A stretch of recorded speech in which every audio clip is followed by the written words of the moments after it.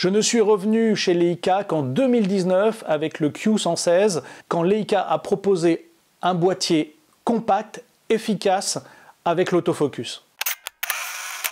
Mais pendant 13 ans, j'ai recherché ce rendu Leica que je n'avais pas et surtout cette ergonomie qui me manquait. Ce retour à la simplicité des menus, de l'ergonomie, ont radicalement changé ma photographie. Personnellement, je mets l'appareil en ISO automatique, la mise au point en AF et l'appareil en mode priorité diaphragme. Je n'ai plus qu'à m'occuper de mon diaphragme, vérifier que la vitesse ne chute pas et jouer avec ma correction d'IL. Et tout ça sans rentrer dans des menus compliqués. En effet, je venais de chez Nikon, et d'ailleurs, j'ai toujours du Nikon pour certains travaux, ce sont de très très bons outils. Mais j'avais fait un tour chez Sony en compact avec le RX100, chez Fuji avec le X100V, et franchement, c'était terrible pour moi. J'étais plus concentré sur l'appareil photo que sur mes images. Même si je me servais de ces appareils au quotidien, j'avais continuellement une boule au ventre en me demandant si j'avais bien reconfiguré mon appareil photo entre chaque prise de vue ou si je n'avais pas par mégarde enclenché une fonction quelconque dans les menus en cliquant dessus. Leica me permet de rester concentré sur mon sujet, sur mon intention photographique. L'outil se fait oublier et c'est ce que j'aime. Les workshops, stages,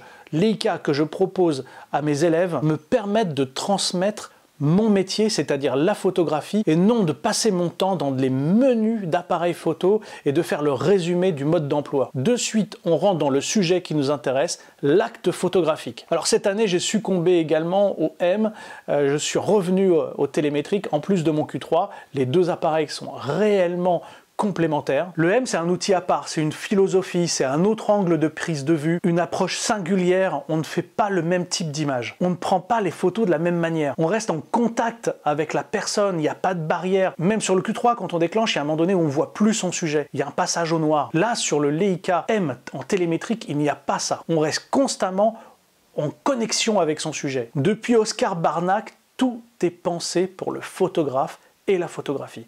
Tout tourne autour de cela. Le confort du photographe est au centre de leurs préoccupations. Chez d'autres marques, que je citerai pas, euh, on se demande parfois si les appareils sont réalisés par des ingénieurs qui n'ont jamais fait de photos ou par des férus d'informatique, mais en tout cas, par des photographes, ça je peux vous l'assurer. Les évolutions de produits se font au fur et à mesure avec intelligence et innovation. On est vraiment, je trouve, dans la philosophie japonaise du kaizen, c'est-à-dire une évolution du produit par de petites touches dans le respect du passé et des traditions, et non par une réforme brutale par la feuille blanche en faisant fi du passé. En fait, quand on a un Leica en main, on a presque un siècle d'expérience photographique, ce qui n'empêche pas à la marque de rester novatrice en termes de technologie. On est vraiment dans ce que disait Henry Royce, de chercher la perfection en tout, de prendre ce qu'il y a de meilleur et de l'améliorer, et quand rien n'existe, le concevoir. En plus, ce sont des outils de très bonne manufacture, avec encore des étapes réalisées à la main. Quand on a un Leica en main, on ressent vraiment cette volonté de ne pas négliger les matériaux et la fabrication. Et même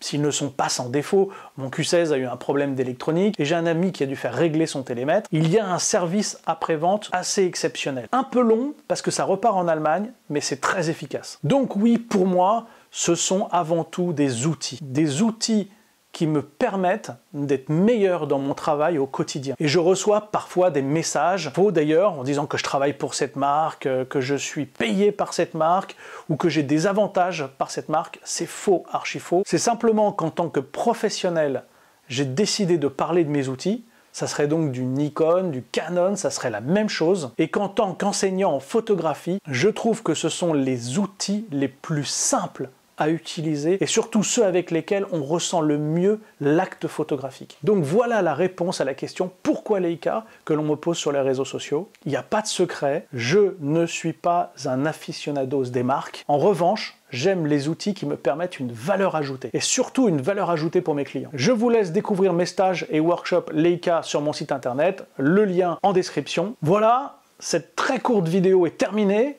Je vous remercie de l'avoir suivi, n'hésitez pas à vous abonner à la chaîne, à appuyer sur la cloche et à très vite pour de nouvelles vidéos. En attendant, sortez, sortez, sortez, faites des photos.